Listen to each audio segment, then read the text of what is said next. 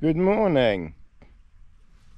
It's just gone 10 in the morning, obviously. We didn't sleep until 10 o'clock at night. It's been pretty calm. There's been a little bit of a breeze, but not really very much. There's been a little bit of rain, but really not very much. It's like it's like God's up there or Darwin or whoever, and it's like you're sort of just having a little sprinkly sprinkly. And then he thought, no, that, no, that's enough. You don't over overdo it, and that's literally it. And there's been like two very small sprinkly showers. One I think was maybe two o'clock in the morning, and one was maybe I don't know six o'clock or something but you know tiny. But they lasted like half an hour but it was just like it was just like drops and you kind of thought is it actually going to do something or not? And it uh and it never did. Interesting. Let's just have a little look around the Trailstar. Okay so it looks like it looks like the whilst the material may not sag that one's tight.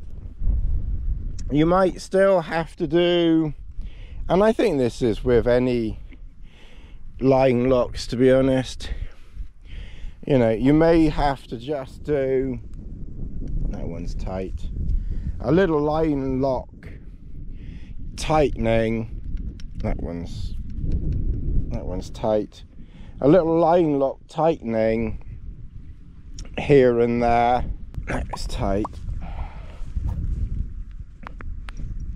I think one of the reasons why you know you can't get very very sort of tight you know edge panels here is because the material doesn't stretch so each panel to a very large degree is its own entity. So you kind of need that line and that line to tighten uh, this one up. So the back ones are tight.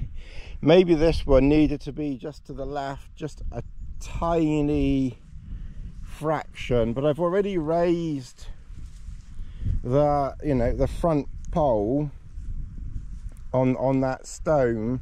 So I think to get it really tight in this configuration you kind of need to have you know an even longer or more stones under your pole to get to get that raised up. Because if you raise that up then you tighten that which might help just tighten that you know to a degree. But the front won't tighten the back with, with this and it might only help to a very small degree on the side panels you know away from the lines that are doing their own panel. You know you almost have to see each panel as its own entity almost. But it's been a very nice relaxing night.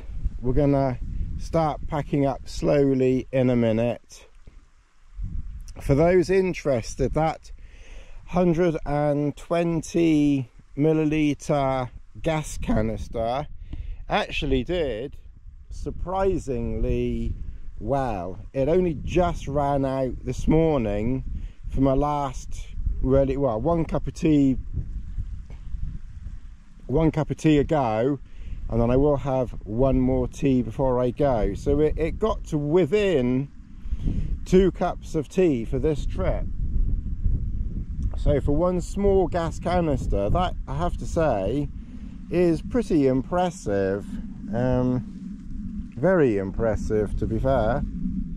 Obviously it's very warm, so the water is quite warm, so it really didn't take much boiling. I, and I never boiled it, you know, I never had a rolling boil. I, I stopped it, you know, either as the first bubbles were appearing or when it was very hot you know before a natural boil so that probably helps you know conserve gas as well we will have to you know slowly start uh, pack up. It's quarter past 10. I didn't bother filming it. I didn't do very much um, video last night, but I had that adventure nutrition meal last night and yeah, it was fine. I mean, like I said, uh, I, I must try a hot pot sometime. I reckon, I reckon they're all pretty good now. I mean, again, I, I still think the real ter I still, I still think the Real Turmats are probably, probably just has the edge. And I probably would say Expedition Foods is probably, you know, an equal, an equal first or or a very very close second but that, that, that was fine. There was nothing there was nothing wrong with that either. If that's all you can get and you got a good price get that. All right well i think i really do need to start to you know just slowly pack up. It's quarter past 10 could really do with trying to get going for about 12 if possible because it's probably i don't know hour and a half to the car. I mean two hours maximum but realistically it's probably only an hour and a half. It's literally just across here. Find that path. So that path that goes up there somewhere. Well path but trail. And I think it does go all the way to the top. It actually ended up taking us slightly to the left. But we could always branch off to the left a bit if it's going the wrong way because it does seem to go to the right a bit whereas we want to go to the left once we're up there but that's that's the top basically and then you just follow it around and down to the car so it's really we really haven't walked we really haven't walked a million miles. We certainly didn't do Lizzie we certainly uh, didn't quite do what we were partially thinking of doing and wandering over that way more but like I said it was never a marathon it was always just just a very very relaxing very relaxing walk